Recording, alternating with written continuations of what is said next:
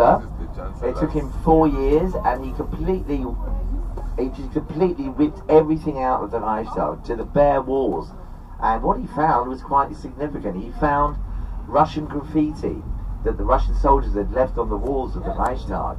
Yeah, like you know, Ivan was here, and you know, Hitler is dead, and all this sort of stuff.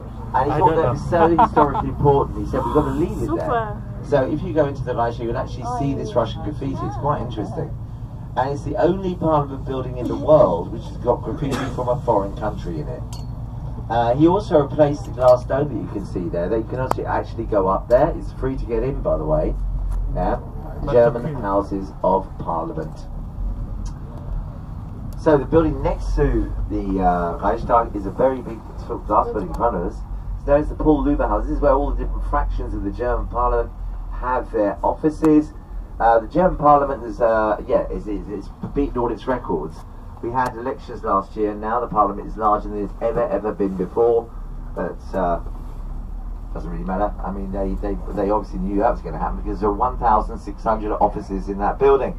The Chancellery is the big building here, straight ahead on the right. That's where the Chancellor of Germany works. Olaf Scholz. The Berliners called it the elephant washing machine. That's their take on it. And building you see there behind the trees on the right is the Swiss Embassy. Uh, that actually survived the war, the Swiss Embassy. Uh, well, that's not surprising. The Swiss were neutral during the war, weren't they? But that's not the reason, was just a pure fluke. And the, the Berliners uh, call it the first aid box. If you look to your right, you'll see a bell tower. Uh, this is not just any old bell tower, actually. In this tower are 68 bells. Each one of the bells is from a church that was destroyed in Berlin during the war. Mercedes Benz, they collected these bells and then gave them to Berlin for a present. Uh, for a big party, which I've mentioned a couple of times already, the 750th anniversary of Berlin in 1987. So that's why the Berliners call it Big Benz. Yeah, or Notre Dame. And uh, it's not just a bell tower, it's actually an instrument. It's known as a carillon. If you don't know what a carillon is, uh, it looks a bit like an organ. You don't play it with your fingers, you play it with your fists and your, and your feet, because otherwise you couldn't move the bells.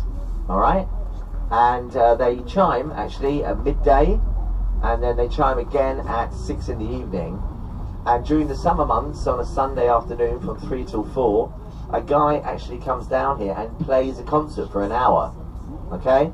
Uh, whatever, you know, whatever he feels like playing. I've heard um, Elvis Presley being played on these bills, or Frank Sinatra, whatever you want. Right, like I said, uh, these they chime at uh, midday, midday, and at 6 p.m. Ding dong, ding dong, ramalama, ding dong.